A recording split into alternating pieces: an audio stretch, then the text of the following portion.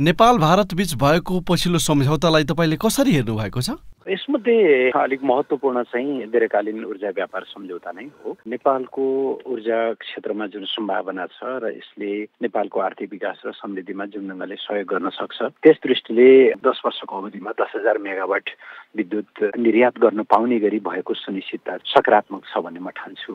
यद्यपि यससँग जोडिएका दुईटा प्रश्नहरू छन्। एउटा यो सम्झौतामा भारतीय लगानी या नेपालका लगानीकर्ताहरूले गरेको लगानीबाट उत्पादित ऊर्जा मात्रै भारतले खरिद गर्ने भनिएको छ। त्यसले सायद हाम्रो ऊर्जा विकासलाई धेरै टेवा पुर्याउँदैन किनभने नेपाललाई ऊर्जाको क्षेत्रमा धेरै लगानी जरुरी छ। ती दस हजार मेगावाट विद्युत बिक्री गर्नकै लागि पनि हामीले हाम्रो उत्पादनलाई सत्र अठार हजार मेगावाट पुर्याउनु पर्छ किनभने हाम्रो आन्तरिक खपत पनि बढ्छ त्यतिन्जेल निश्चित देशको मात्रै लगानीको खरिद गर्छु भन्दा त्यसले अलिकति समस्या पार्छ कि भन्ने मलाई लाग्छ। यसमा भारतसँग आगामी दिनमा सम्वाद गर्दै जानुपर्छ। दोस्रो जति पनि सम्भावना भएका हाम्रा नदी नालाहरू नदीका परियोजनाहरू छन् धेरैमा भारतले लामो समयदेखि त्यो परियोजना उसले जिम्मा त लिएको छ तर काम अगाडि बढेको छैन। उदाहरणको निम्ति पञ्चेश्वर उदाहरणको निम्ति अप्पर कर्णाली उदाहरणको निम्ति पश्चिम सेती या अरू। यसले गर्दाखेरि ती कुराहरूको कार्यान्वयन छिटो छिटो हुने कुराको सुनिश्चितता गरिनुपर्छ। अब अरू तिनवटा विषयहरू चाहिँ साह्रै धेरै महत्त्वपूर्ण होइनन्। त्यसमाथि एउटा विषयमा चाहिँ मेरो अलिकति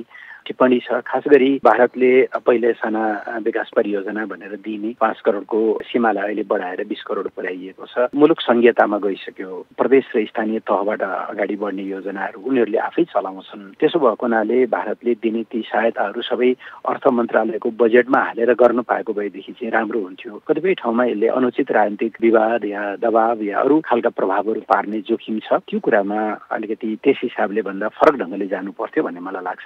ऊर्जा व्यापार सम्झौता सकारात्मक छ। र यो बिस करोडको जुन भन्नुभयो यसमा धेरै प्रधानमन्त्रीहरू जोडिँदै आएको देखिन्छ। तपाईँहरूको पालामा पनि जुन पाँच पाँच वर्षमा नवीकरण गर्नुपर्छ भन्ने कुरा थियो अनि यहाँहरूले सामान्य प्रशासन मन्त्रालय मार्फत त्यसलाई जानकारी गराउने।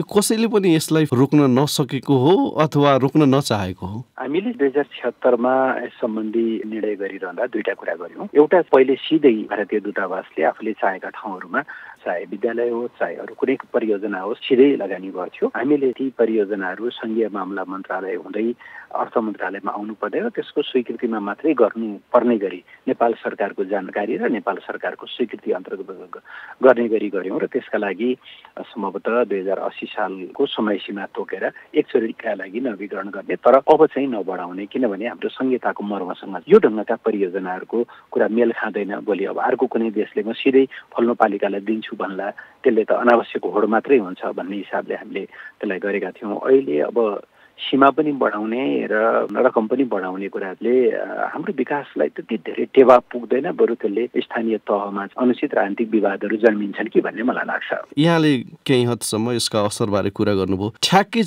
यसले पार्न सक्ने असर चाहिँ के देख्नुहुन्छ? परियोजनाको प्राथमिकता के हो भन्ने कुराको छनौट कसले गर्ने? त्यो छनौट प्राथमिकतामा परेको कुरालाई चाहिँ भारतीय सरकार सकारात्मक हुने कि नहुने? यो भारतीय सरकारले आफ्नो राजनीतिक प्रभाव बढाउनका निम्ति अथवा आफू निकट भनिने अथवा आफ्नो चिनाजनाका सांसदहरू राजनीतिक नेताहरूको सिफारिसमा ती परियोजनाहरू चाहिँ जाने खालको वातावरण बन्यो भनेदेखि त हाम्रो विकासको जुन एउटा सिलसिला छ परियोजनाको छनौट त्यसको सम्भाव्यता अध्ययन त्यसको लाभ हानिको मूल्याङ्कन वातावरणीय प्रभाव मूल्याङ्कन र नै त्यहाँ प्राथमिकताको विषय हो कि होइन भन्ने कुराको छनौट गर्ने त्यहाँका जनताको अधिकार र नेपाल सरकारको अधिकार चाहिँ अलिकति कुण्ठित हुन्छ कि भन्ने मलाई लाग्छ। अब अन्त्यमा एक थरीले के भन्ने गर्छ भने भारतसँग हुने हरेक सन्धि सम्झौता सहमतिमा नेपालको हात तल पर्छ।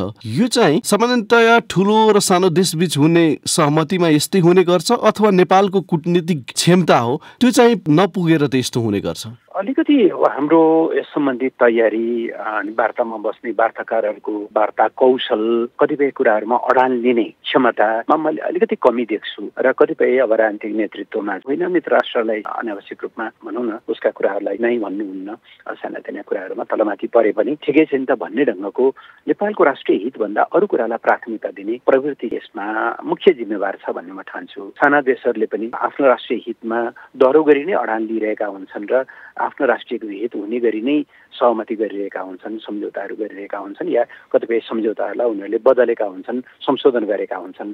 हामी कहाँ अलि बढी जब ठुला देशहरूसँगको वार्ताको कुरा आउँछ त्यसमा राष्ट्रिय हितलाई र राष्ट्रिय अडानलाई भन्दा आफ्नो दलगत स्वार्थ गुटगत स्वार्थ या व्यक्तिगत स्वार्थलाई चाहिँ अलिक प्राथमिकतामा राख्ने र कतिपय अनुचित कुराहरूलाई चाहिँ नाइ भन्न नसक्ने त्यो प्रवृत्ति चाहिँ हामी कहाँ पनि देखिन्छ। अब ठुला देशहरूले आफ्नो अलिकति स्वार्थका आफ्ना हितका कुराहरूलाई साना देशहरूमाथि त्यसलाई चाहिँ लागू गराउन खोज्नु अलिकति त्यसबारेमा दबाव प्रभाव पार्न खोज्नु अब उनीहरूको आफ्नो रणनीतिभित्रको कुरा हो उनीहरूले आफ्नो ढङ्गले हेर्ने होलान्। हामीले हेर्दाखेरि यी विषयहरू हाम्रो राष्ट्रिय हितमा छन् कि छैनन् त्यसले हाम्रो हितलाई चाहिँ कति सहयोग गर्छ भन्ने कुरा छनौट गर्ने कुरा चाहिँ हाम्रो आफ्नो कुरा हो त्यसमा चाहिँ कहिलेकाहीँ हामी चुकेको जस्तो देख्छु मैले।